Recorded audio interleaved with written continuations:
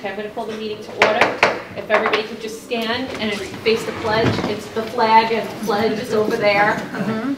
I pledge allegiance to the flag of the United States of America and to the republic for which it stands, one nation, under God, indivisible, with liberty and justice for all. Thank you, everybody, for attending. I apologize for the uh, cramped quarters. Like I said, we're having our Maniscalco Award here tonight, so most of the building is being occupied by that. So um, if we can just move along, if uh, I can have a motion to accept last month's minutes, please. Thank you. CB3, CB1. Okay, we do not have any correspondence. We are going to move along to our first presentation. We have Diana Layden, who is the New York City taxpayer advocate here to give us a brief discussion on the services of their office. Welcome. Thank you very much. I appreciate the opportunity to be here. Should I speak into the mic? Are you recording it? Yes, we do have to record them. Um, so, well, uh, thank you again for having us. We are a brand new office. I know Councilman Matteo was at one of the hearings that I, I gave and listened to us. But it's great for us to tell you what we do, why we do it, how we do it, so that you can tell people in your districts you know, how they can reach out to us. So some of you may or may not know that Commissioner Jiha created this office so we can be truly independent, and, and we are. We're there when your clients get stuck, and we own the case until we finish it. And during that time, when we're doing what we call case advocacy, we start to find that there are systemic problems. Every large bureau, uh, bureaucratic organization has systemic problems. Our function is to also not only identify them, but suggest changes. And so one of the things that your constituents can do is they can contact us by email, they can contact us through a telephone, they can contact us on the web. I have some forms and things that I can leave with you today. Um, my number's uh, on some magnets and stuff that we have. They can always call my office. We will talk with them on the phone. Sometimes we have just inquiries. How do I get this form? I don't understand why my bill says this. We will take that inquiry and we will find out who the right person at the Department of Finance is to speak. More often, somebody will come with truly a problem. And right now we have about, I think our numbers are about 78 cases that we've had so far. We average about 40 days to work a case. Some are more entrenched than others. Um, and we will be issuing a report sometime in the end of April, beginning of May, the 10 most serious problems that we feel New York City taxpayers face with business taxes and with property taxes. We've collected some data that our offices had, and we think these are things that the department should uh, attend to, and I think Commissioner Jiha is very much in board in trying to change things. Um, how do we work the cases? So if someone calls, we have a person, our analyst, who will take an inquiry. And some inquiries come through 311. And it's interesting, we thought initially when we had the office stand up, we thought a majority are going to come through 311. And that's really not the case. We get a lot of people who are very savvy and come on the web. We have walk-ins. People come into our office, which is at 253 Broadway, the sixth floor. We have inquiries from the council members and from community leaders who contact us. Um, and sometimes even within the department, somebody who's working a case will realize they, they don't know what to do with the case and they'll send it to us. Um, so we have also have under our auspices the SCRIE and DRIE unit, which after the fiscal year 16-17 will come into our office. So we have inquiries that are handled by someone who will actually make the contact with someone at the Department of Finance. Sometimes it's other agencies. We work closely with the Department of Buildings, DEP, and other ones. Um, sometimes it really needs a more in-depth inquiry and investigation. And we have what we call case advocates. So Robin Bermudez, some of you may know, she was with External Affairs.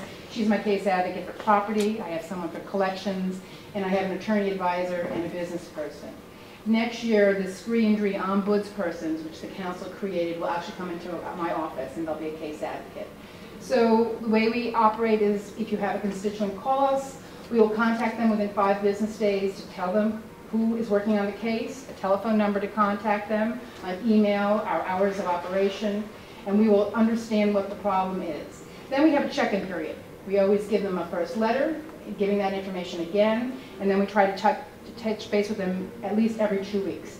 Even if it gets stuck, we want them to know we're still working on the case and we're still trying to work on it. And then when it's resolved, we will send them a closing letter and we'll send them uh, a customer service satisfaction um, survey.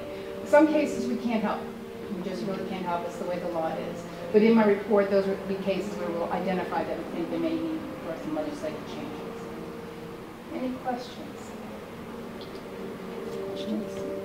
We haven't had too many from Staten Island yet. Most, the majority have been from Manhattan and from Brooklyn. Part of that is property driven with the uh, amounts going up. We do go to the notices of property value uh, sessions and the lien sale sessions, and we've had uh, quite an uptick, and you probably will know in the sessions, and that's good, Thank you. people need to come in. One of the things that our, our office has worked on, and we can leave them here with you tonight, is something we call property tax calculator for class one property owners. So I have, I kidded everyone, I said, I have two advanced degrees, and when I came in and had to understand the property tax system in New York, it was a challenge for me. So one of the things that we did is we created this Excel spreadsheet, which we hope to put on the web next year. So someone can come in and say, I think you've got the market value wrong. And it will show whether or not it changes their assessed value. Because you all know the caps sometimes aren't connected with what their market value is. But it also gives them an opportunity to say, oh, I don't have exemptions. What would happen if I have an exemption? So we're trying to emphasize at the notice of property value sessions, and we hope next year to put it on the web. Okay, and I'll leave this with you if you'd like to have the You said you had some magnets and different things. We things. do, we have magnets, we have Good. taxpayer bill of rights, which was created, which New York State copied now, so you were first. Thank you. Thank you very much. As everybody knows, we have uh, two resolutions before the board for Landmarks Colony. I think we're all very familiar with this whole proposal, so we're just going, if it's okay with the members of the board, we'll just go right to the resolution. Is that fine? Okay, Dan, I know you do have a statement, though, to Yeah. read from Councilmember Matteo. Should I use the mic? It doesn't matter. is it? Is this still recording? Yes. It's fine. It's fine? Yeah. Oh, okay. All right. It's free. Uh, Good evening, my name is Daniel Castorina, and I'm here uh, today representing Minority Leader Steven Matteo. The Minority Leader is incredibly proud of the role he played in supporting the Landmark Colony project, both as Chief of Staff to Borough President uh, Oddo during his council tenure, and as a member of that body himself. He can tell you firsthand that the Borough President's tenacity and vision are why Farm Colony will get a new lease on life. Not only will it become a tremendous community asset, but this initiative will also restore and preserve an important piece of our local history. Uh, Shepherding this project through the council was an important priority for the councilman, and he looks forward to seeing Landmark Colony become a reality. Uh, On his behalf, I vote aye. All right, so I'm going to move forward right to the resolution. So the first one, which is the one that is a little bit longer, uh, it's got the five paragraphs. Whereas the New York City Economic Development Corporation is tasked with the spurring and fostering of economic development within the borough of Staten Island and the city of New York.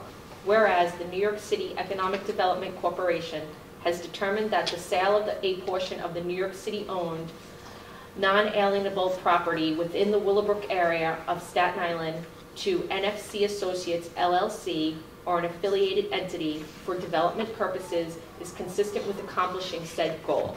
Whereas the requirements of the New York State Environmental Quality Review Act and regulations have been fulfilled, and whereas the Borough Board of the Borough of Staten Island agrees that such transfer will generate economic benefit and is in the best interest of the Borough of Staten Island and the City of New York. Now, therefore, be it resolved that pursuant to the New York City Uniform Land Use Review Process and Section 484B4 of the New York City Charter, the Borough Board of the Borough of Staten Island hereby approves the transfer of the aforementioned property to the New York City Land Development Corporation to sell through the New York City Economic Development Corporation said property to NFC Associates LLC or an affiliated entity. Any questions on the matter? Okay, let's go right to a vote. All in favor, please say aye. Aye. Aye, okay. Motion passes unanimously. Okay. Now for the second resolution. Whereas the Borough Board acknowledges that the Office of the Deputy Mayor for Housing and Economic Development conducted an environmental quality review of this proposal pursuant to Article 8 of the Environmental Conservation Law, the New York State Environmental Quality Review Act, and the Rules of Procedure for City Environmental Quality Review and Executive Order 91 of 1977. Whereas, the Borough Board further acknowledges that as a result of the environmental quality review conducted of this proposal by the Office of the Deputy Mayor for Housing and Economic Development pursuant to the law and rules set forth above, the Office of the Deputy Mayor for Housing and Economic Development issued an environmental assessment statement, otherwise known as an EAS, and a negative declaration on November 16, 2015.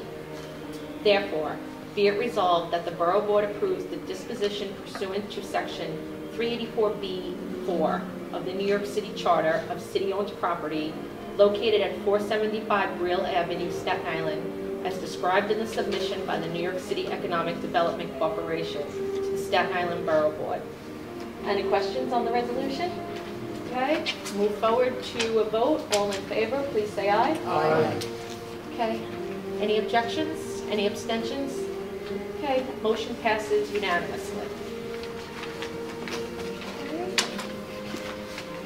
Okay, um, let's just uh, wrap up now. Any old business? Any new business? Okay, can I entertain a motion to adjourn, please? CB3, CB1, okay, thank you, meeting is adjourned.